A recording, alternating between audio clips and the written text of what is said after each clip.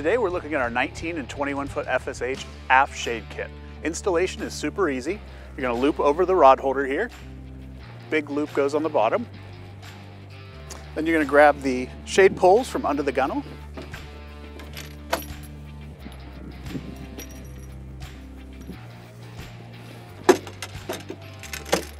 When you install the shade poles, you want to ensure that the clevis is facing you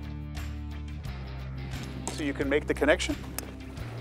One and two, simple as that, your shade kit is set up.